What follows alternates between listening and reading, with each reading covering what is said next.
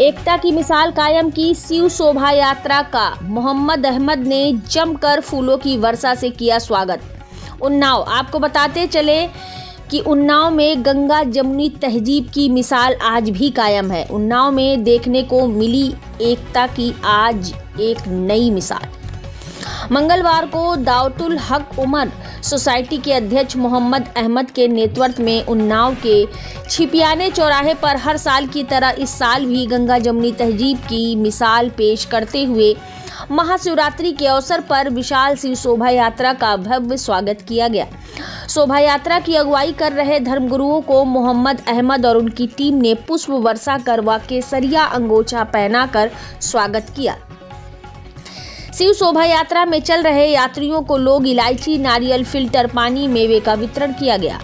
शिव शोभा यात्रा का स्वागत करने वालों में मुख्य रूप से मोहम्मद अहमद, मोहम्मद जाबिर, नफीस अहमद, जहीर अब्बास, धर्मेंद्र सिंह चौहान, इकराम मोहम्मद फरीदी, मून भाई, सवाब हुसैन, संजय जायसवाल, मोहम्मद आसिफ हुसैन आदि लोग स्वागत में मौजूद रहे। उन्नाव से जिला ब्यूरो मोहम्मद जमाल की खास रिपोर्ट।